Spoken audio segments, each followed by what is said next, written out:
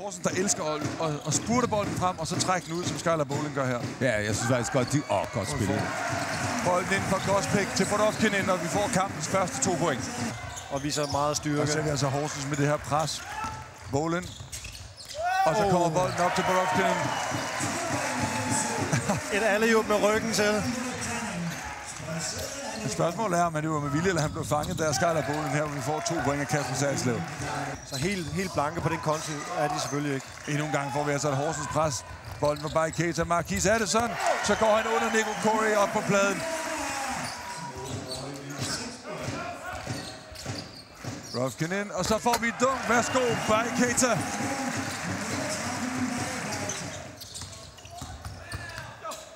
Lassan, Niels Klokke Andreasen, og godt spillet.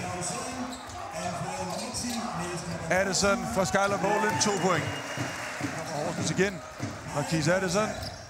Op til Vetran Borofkinen. Aliup fra Marquis Addison. Bolden ind til MB over til Gospik. Og så får vi endnu to point fra han til Gospik. Alassan rundt om MB. Op på pladen og to point Alassan Turay. Rundt om screening ind til Bjerre op på pladen. Og så får vi altså et dunk fra Demetrius Phillips. Ja, første to point af ham i, i Aalborg-trøjen, og, og sikkert en, en, to gode point at starte med. Alassan Turay blokeret by Keita.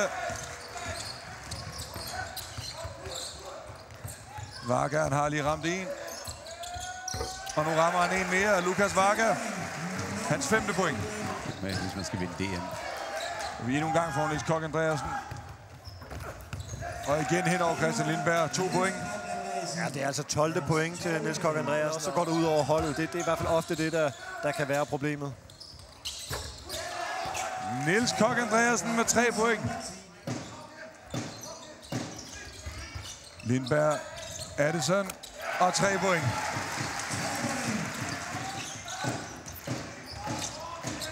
Skyler Bowlen ind til Vetton. Ej, han har helt kontrol her, Jesper. Ja, det fantastiske det her, det er, at Scarlett Bowlen har set den her allerede op ved midten. Bowlen til Gospik, til Addison. Ind under kurven, så smider han den op på pladen. Med masser af spænd. Mange fejl. Oh, så Addison, og så er de 4 mod 0. Og så får vi et dunk her. Vetran Brodovkinin. De er til at skyde de skud, som de gerne vil have i Aalborg. Det gør det. Øh, og specielt Bodovkanin har faktisk, selvom han har scoret mange point, så har de faktisk alle sammen været tæt på, tæt på kurven. Han har ikke haft gang i sit skud udefra i dag. Brandon Bjerre. Endnu en trepoinger. Lindberg fra baglinjen. Og så får Lukas Varga altså en enkelt rebound. Der er langt efter toppen i dansk basket. 5 sekunder tilbage ud til Nils Krog Thomsen. Han skuddet af, og den går i. Nils Krog Thomsen slutter tredje periode med en scoring. Udtog til Kori med 5 på uger over for Varga. Og så får vi tre point af Lars Touré på signalet. Men Lauritsen slår den løs. Niels Krog Thomsen. Og så får vi et dunk. To point. Niels Krog Thomsen. Og Bolov kan misbruger tre point skuddet. Og Corey rundt om Keita og to point. Demetrius Phillips, to point og en fejl. Og så skærer han altså føringen ned til 21. Så kan det være, at Devoria kan nå sit mål. Utraditionel afslutning. Det er svært detalje at få den til at ligge deroppe. Det må man sige. Åh, oh, det er godt lavet. Simpelthen er blevet træt. Altså, han har virkelig, virkelig får vi jo Corey med toårs blokering. Keita i to omgange. To point.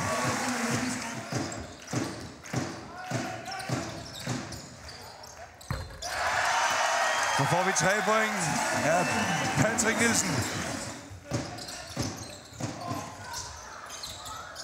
Oscar Jørgensen, tre point.